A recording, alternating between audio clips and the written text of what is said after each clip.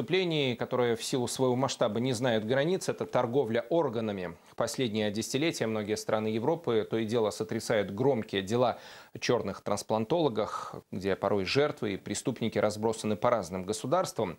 Беларусь это зло почти минуло стороной, но наши правоохранители не раз участвовали в распутывании этих международных сетей. Анастасия Бендисюк на неделе провела собственное расследование. Почти 10 миллионов человек населения Беларуси. По сути, каждый из нас потенциальный донор, а в случае чего и реципиент. Никогда не знаешь, чье сердце вернет к жизни брата, чьи легкие заставит дышать полной грудью ребенка и чьими глазами уже после сам будешь смотреть на, казалось бы, привычные вещи. Возможность э, трансплантации – это одна из реальных возможностей человека вернуть к жизни. Но, к сожалению, почка – это не гайка, не болт, который можно в магазине купить. Это биологический материал, который должен соответствовать определенным параметрам. У него нет медицинского образования, но беда, которая в дом входит без стука, заставила досконально изучить вопрос. Группа крови, резус-фактор, совместимость и лист ожидания. Свою боль мужчина скрывает за темными очками и просит не называть имя. Три года вместе с сестрой он просто ждет.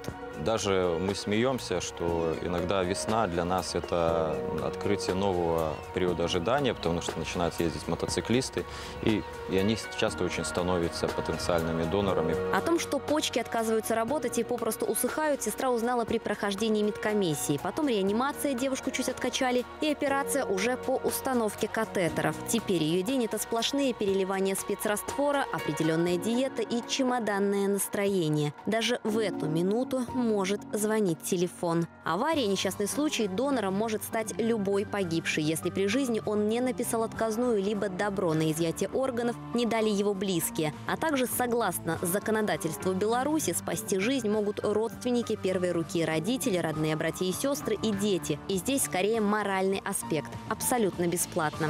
Когда мы накопили большой опыт, мы видим, что есть возможность для того, чтобы шире использовать вот тех людей, которые не являются родственниками первой руки, тех людей, которые просто мотивированы, как во многих других странах, бескорыстно, бесплатно отдавать свои органы. Также для того, чтобы активизировать так называемое перекрестное донорство, это тогда, когда у вас есть донор, но по определенным медицинским показаниям он вам не подходит, у кого-то еще есть донор, и тоже не подходит. Обмен этими донорами абсолютно на безвозмездной основе может дать хороший результат. Это только некоторые инициативы, которые врач и сенатор Олег Румо уже озвучил белорусскому Минздраву. Здесь же предложение на законодательном уровне оформить взаимовыгодное международное сотрудничество с другими странами для обмена органами и технологиями парламентарии планируют рассмотреть этот вопрос уже в следующем году. Последняя правка закона о трансплантации органов тканей вносилась э, почти пять лет назад. Конечно, наука шагнула чуть дальше, начали развиваться и в сопредельных государствах. Конечно, на будущее нам нужно создать банк органов тканей.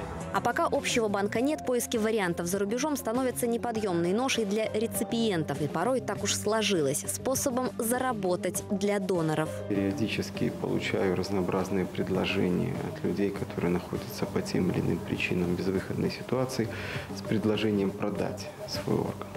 Нужно сказать, что это абсолютно неприемлемо. Все, что касается э, коммерциализации процесса обмена органами, конечно, это уголовно наказуемое деяние. Продам почку. Таких объявлений на просторах интернета гуляет немало, благо адресанты не с белорусской пропиской. Вот только потерпевшим по итогу может оказаться любой. Были прецеденты. Год 2008 в Косово раскрывают преступную схему по продаже донорских органов. Завербованным оказался и один белорус. Черные трансплантологи обещали 10 тысяч долларов. После операции давали лишь 7.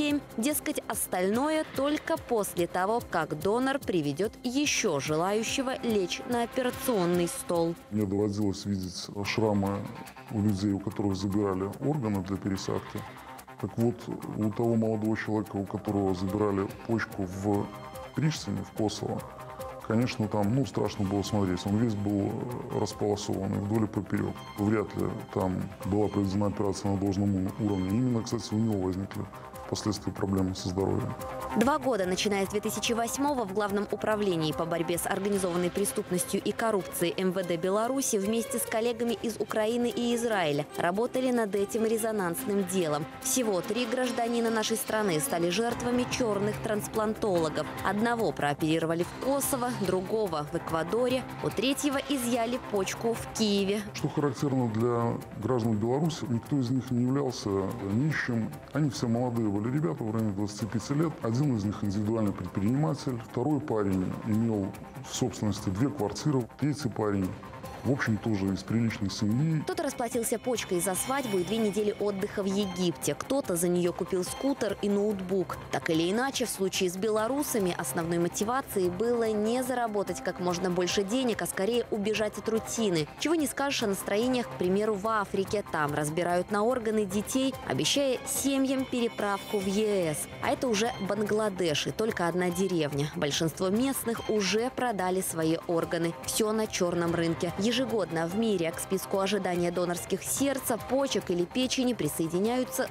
100 тысяч человек. Половина их так и не дожидается. Именно поэтому зачастую реципиент готов уцепиться за любую возможность продлить себе жизнь. Сегодня единственная страна, в которой разрешается и регулируется государством продажа почек – это Иран. В Беларуси таких объявлений точно нету. А в других странах это чревато просто ошибками на уровне определения совместимости.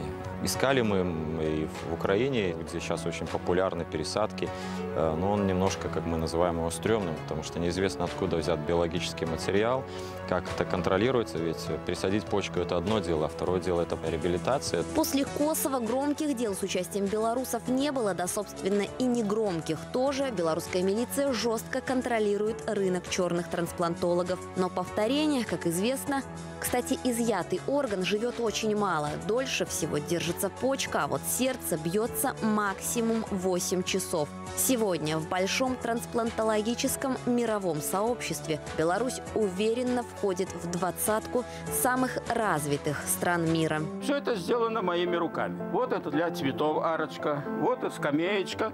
Владимир Богатенко действительно богатый. Накованные вещицы, сделанные своими руками, и на дом, который тоже сам строил, и на полную чашу в нем. Дети, внуки. Вот только пять лет назад опытного сварщика стало подводить здоровье. Мужчина практически полностью ослеп. Месяц назад в Витебской областной больнице пенсионеру пересадили донорскую роговицу глаза. И это первый случай, когда с оптической целью. До этого там лишь четырежды оперировали с целью просто сохранить глаз. Говорят, что на свет народился. В течение двух месяцев все это должно восстановиться. Ну так вот остался месяц. Я полон надежд. Теперь на жизнь Владимир смотрит другими глазами. Он полон надежд вернуться к любимому делу. И той самой надежды желают уже всем тем, кто, как еще месяц назад он, стоит в листе ожидания.